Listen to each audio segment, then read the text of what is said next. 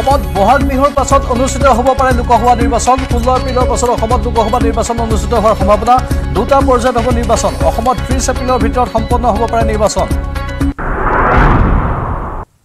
অসমত এবছৰতে বৃদ্ধি দহ লাখ চৌত্ৰিছ হাজাৰ ছশ তেৰজন নিবনুৱা। ৰাজ্যখনত এবছৰতে শিক্ষিত নিবনুৱাৰ সংখ্যা বৃদ্ধি। আঠাৱন্ন হাজাৰ সাতশ সত্তৰজন অৰ্থনৈতিক জৰীপত প্ৰকাশ নিবনুৱা সমস্যাৰ ভয়ংকৰ ৰূপ। ভাৰতীয় শিক্ষকৰে কাম চলোৱা জামুগুৰিহাটৰ ত্যাগবীৰ হেমবৰুৱা মহাবিদ্যালয়ৰ অধ্যাপক ডক্টৰ জয়ন্ত বৰুৱাক নিলম্বন সদৌ অসম কলেজ শিক্ষক সন্থাৰ সভাপতি হোৱাৰ অজুহাতত ফাঁকি মাৰি ফুৰিছিল ডক্টৰ জয়ন্ত বৰুৱাই উচ্চতৰ মাধ্যমিক চূড়ান্ত পৰীক্ষাত পুনৰ অঘটন এইবাৰ হাইলাকান্দিত মোবাইলে মোবাইলে ভাইৰেল বাংলা বিষয়ৰ প্ৰশ্ন কাকত হোৱাটছএপ গ্ৰুপত আদান প্ৰদান প্ৰশ্ন আৰু উত্তৰ জালত এজন ছাত্ৰ।